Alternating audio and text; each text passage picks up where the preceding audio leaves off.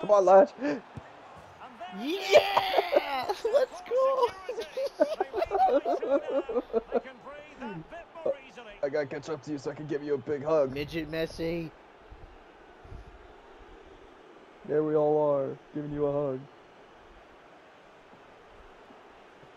Yo, the person playing at goalkeeper is pissed off at his again, and it's really poor defending. They just don't show enough urgency to get tight.